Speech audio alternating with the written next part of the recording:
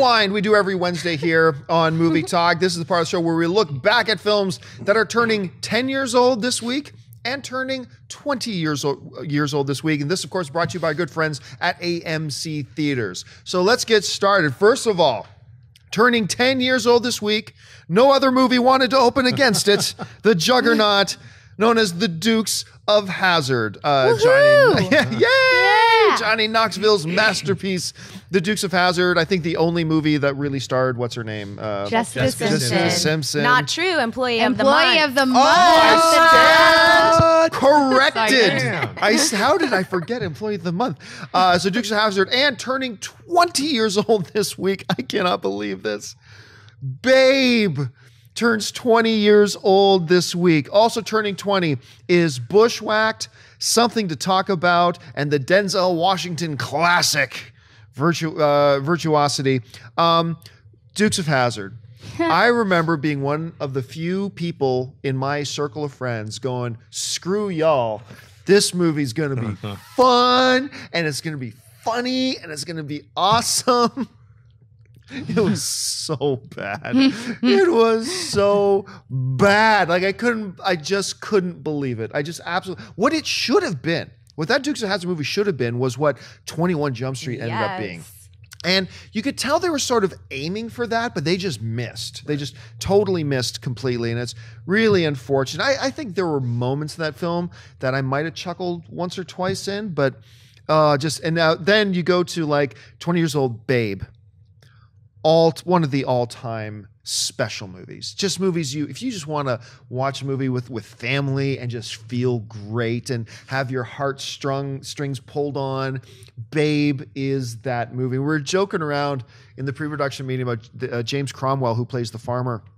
And the movie's like that, what, did, what did you say? Like he's been 70 for 20 yeah, years. he has. He's It's been like- 70 for 20 years now. James Cromwell has not aged a day since he was in Babe, when he was the old man farmer in Babe, and he looks exactly the same today. It's Star Trek First Contact. Looks exactly the same. Yeah, he looks exactly the same in everything. Yeah. It's it's crazy. So that movie's really special. Then you look at a, a movie like uh, Bushwhacked, where Daniel Stern, where it's like, hey, that guy from Home Alone, the sidekick in Home Alone, and the sidekick in City Slickers, let's give him his own comedy, and let's make it a guy on the run, and he's leading a troop in the woods, and mayhem will ensue. And then we never really saw him leading anything else again.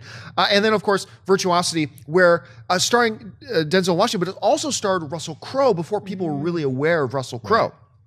And that movie was just terrible. Russell Crowe is like this.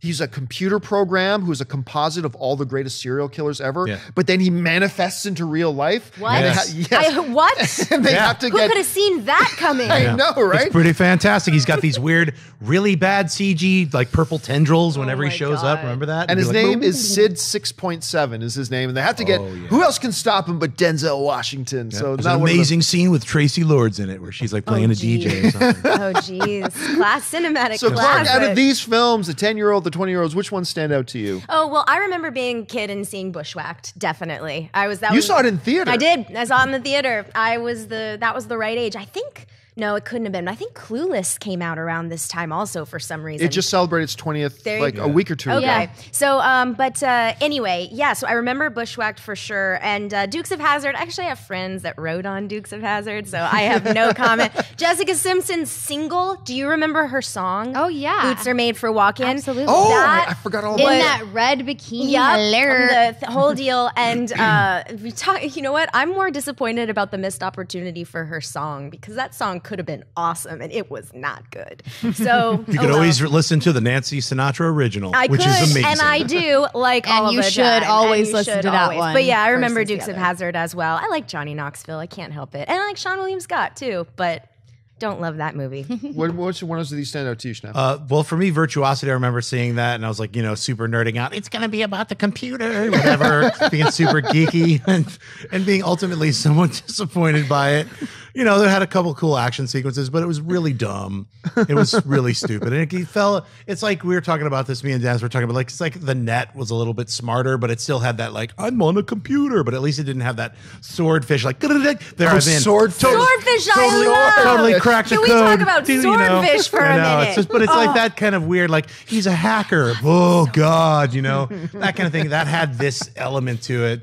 Of uh, stupidity of the computer and the internet, not understanding. Like, do you press a button? It's like Please have me back on when you do the rewind for Swordfish. Definitely. Please Oh, have basically. me back on. Babe always reminded me of like Charlotte's Web, like the uh, the, the the the sequel to it. George Miller directed Mm-hmm. Babe, you know, of Mad Max. He went into his soft phase when he did this and Ha- Happy, Feet. He's like, I'm going to just do things with animals.